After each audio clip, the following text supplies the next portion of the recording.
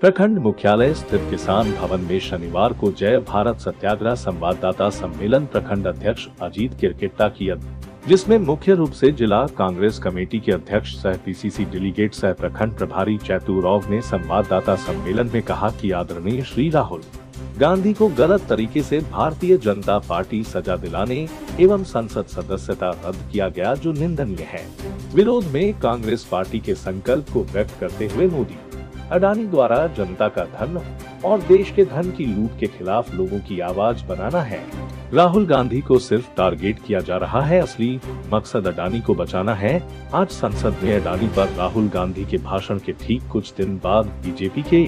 विधायक ने मामले को फिर से तूल दिया। राहुल गांधी और खड़गे जी के भाषणों के हिस्सों को संसद के रिकॉर्ड से हटा दिया गया और अडानी या जेपीसी की मांग पर आगे की। चर्चा से बचने के लिए भाजपा ने जानबूझकर संसद बाधित करना शुरू किया।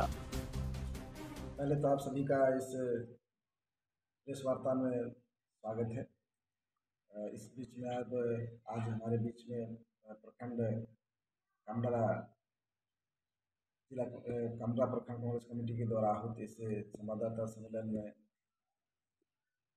जैसा कि आपको पता है, हमारे पूर्व अध्यक्ष सम्मानित राहुल गांधी जी का लोकसभा की सदस्यता समाप्त कर दी गई है।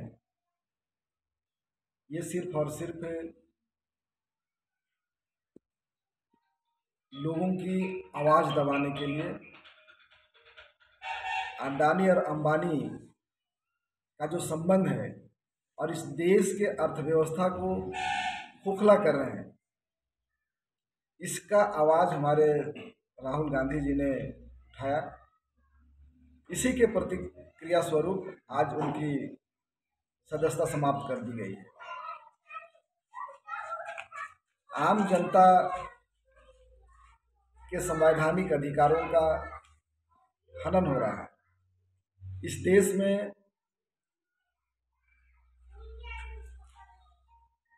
जो लोकतांत्रिक अधिकार है, बोलने का अधिकार है, उसको समाप्त किया जा रहा है। ये सरकार अलोकतांत्रिक एवं तानाशाह चरित्र का पर्याय बन गया। इसी संदर्भ में आज अखिल भारतीय कांग्रेस कमेटी के निर्देशानुसार कमला प्रखंड कांग्रेस कमेटी के द्वारा प्रेस वार्ता का आयोजन किया जा रहा है। और जो अखिल भारतीय कांग्रेस कमेटी के द्वारा 29 मार्च से 8 अप्रैल तक जय भारत सत्याग्रह का जो कार्यक्रम आहूत किया जाना है आहूत किया गया है, उस कार्यक्रम के बारे में हम लोग जानकारी दे रहे हैं और इस कार्यक्रम के तहत गांव-गांव में जाकर हम मोदी और अडानी के संबंध को उजागर करेंगे।